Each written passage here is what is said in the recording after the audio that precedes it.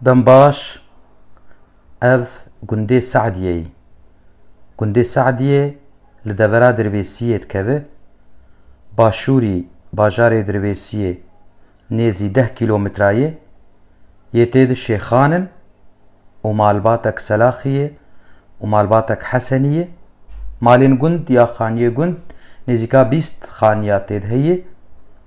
Karûberê xwe li ser çandiniyê dikin û xwedîkirina dewar a, xwediyê bawernama yên xwediyê şehada jî gelek lê hene.